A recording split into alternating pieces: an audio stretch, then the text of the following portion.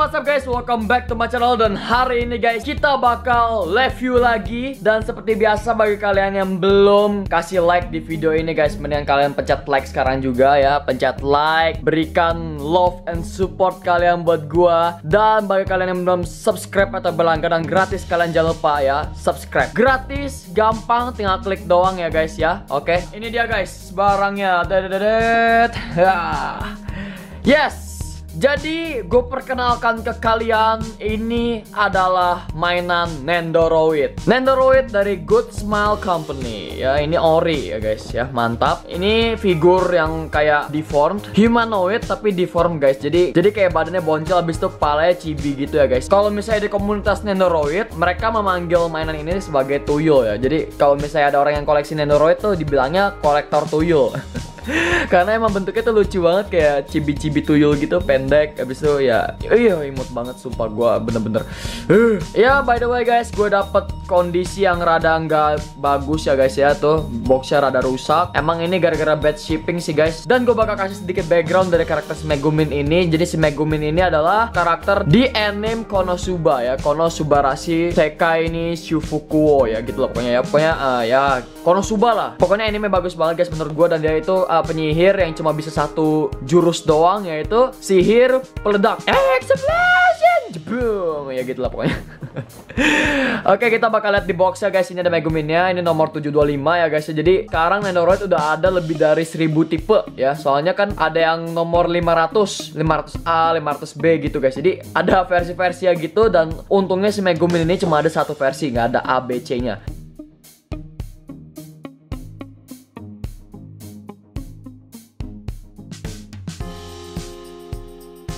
Oke guys, jadi hal pertama yang kita dapatkan di sini tentu aja guys Nendoroid dari si Megumin. Ini dia Megumin ya guys ya, lucu banget dan dia boncel banget sumpah guys. Jadi dia tuh ukurannya cuma sekitar 8 sampai 9 cm.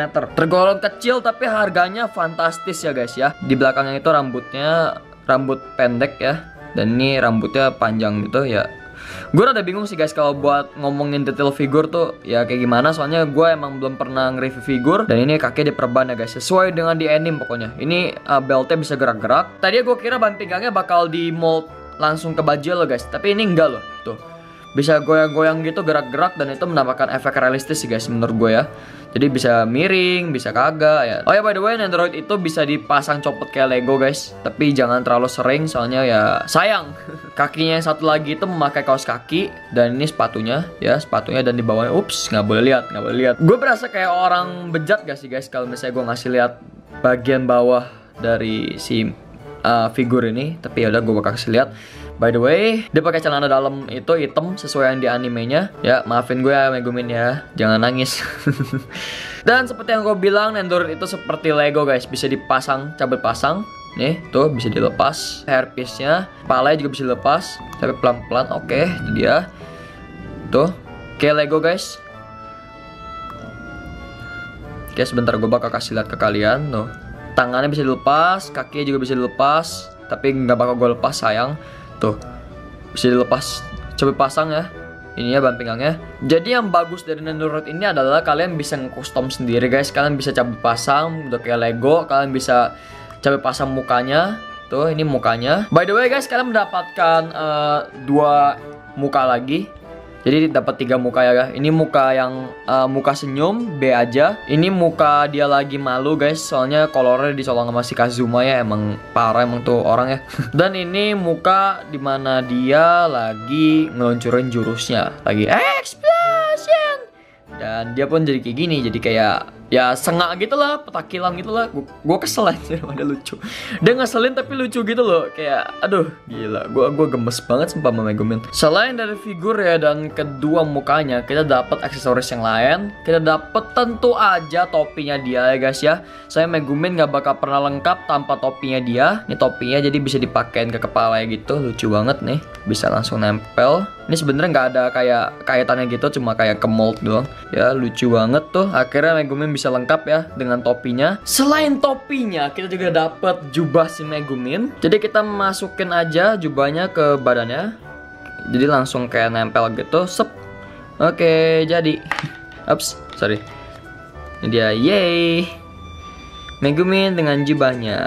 Ya, semakin lengkap guys. Megumin semakin lengkap. Ops. Emang agak susah sih guys ya. Oke, Megumin udah dapet jubah sama topi.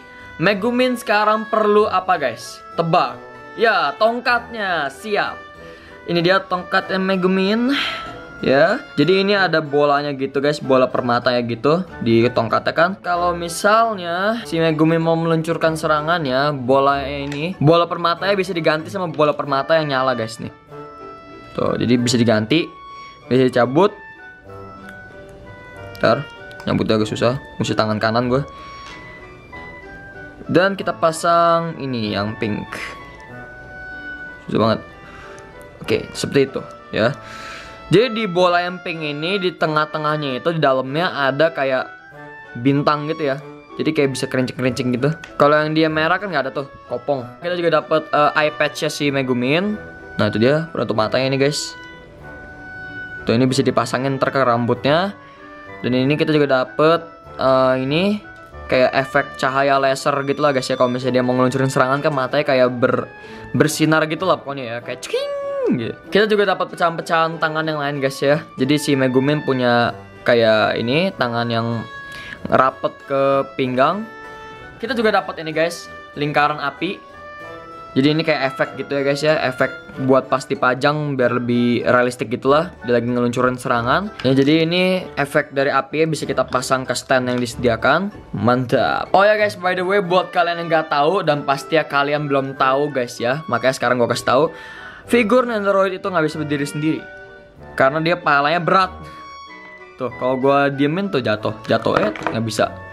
Jadi kita dikasih stand, dia dikasih yang namanya stand ini guys, stand kotak gini. Ini jadi khusus buat Android kita pasang gitu, habis itu nanti figurnya kita berdiriin. Di belakang setiap figur Android, pokoknya yang seri 200-an ke atas itu ada bolongan gitu guys. Jadi dia dirinya bisa lebih enak dan aman buat dipajang seperti ini. Nah tuh jadi dia bakal diri dan dia nggak bakal jatuh. Tenang aja guys ya. Santai. Aman. Nggak bakal lecet figur anda ya. By the way di belakang jubahnya ini ada lubang juga guys. Jadi kita bisa pajang dia dengan memakai jubah ya guys ya. Jadi jangan khawatir tuh. Jadi tinggal disambungin doang ada lubang. Nah seperti ini guys ya. Dan yeay ini dia Megumin dia tinggal kasih tongkatnya. Oh yeah. Jadi ini dia si Megumin ketika ia memakai tutup matanya dan ini efek dari uh, matanya yang pokoknya waktu dia lagi pengen ngeluarin jurusnya ya keluar ya merah-merah gitu efek lah ya pokoknya ya. Ya sebut aja efek. Jadi disambunginnya ke rambut depannya guys nih seperti ini. Ya guys ini dia pose pertama dia lagi megang tongkatnya. Mungkin ini waktu si Megumin pertama kali ketemu sama si Kazuma dan Aqua dia pakai penutup matanya sama dia kayak nama gua adalah Megumin. penyihir terhebat ya spellcaster terhebat apa-apa gitu gue lupa ya. Gue udah lama banget nonton Konosuba soalnya. Kita ganti ke pose kedua di mana dia lagi meluncurkan serangan jurusnya. Ya dia lagi tangannya sedang wah gitu. Dia habis ngucapin mantra-mantranya itu dan tongkatnya nyala lalu dia bakal ngeluarin kayak lingkaran magic seperti ini guys kalau di anime ya. Jadi ya gitulah dia ngeluncurin serangan dan kebum meledak. Apa pun yang dia pengen ledakin pasti hancur. Soalnya daya hancurnya kuat banget guys dari sihir dia. Ini sih mantep banget guys kalau buat majang ya guys. Soalnya gue majangnya di pose yang ini guys. Gue suka banget pose ini dan ini efek apinya ngebantu banget Good Smell Company emang bener-bener ngutamain kepuasan dari pelanggan mereka. Setelah Megumi meluncurkan jurusnya tentu aja Megumi bakal pingsan. Nggak pingsan juga sih guys tapi bakal lemes dan dia nggak bakal bisa bergerak. Jadi ya ini ini posenya di mana dia uh, ya tersungkur di tanah nggak bisa gerak sama sekali dan harus digantung sama Kazuma ke mana-mana. Jadi bener-bener lucu banget. lucu banget sih sumpah. Ada kasihan banget sih ini bocah tuh. Dan ini adalah pose yang terakhir dan menurut gue yang lucu sih guys ya. Ini adalah pose di mana si Megumin lagi minta channel dalamnya kembali dari si Kazuma. Soalnya si Kazuma pakai jurus steel seperti yang gue bilang tadi. Dia pakai jurus steel dan nyolong kolornya si Megumin. Jadi si Megumin kayak malu-malu gitu habis itu dengan memohon-mohon ya meminta channel dalamnya agar dikembalikan. uh, Sumpah ini lucu banget sih kalau dipajang gini juga.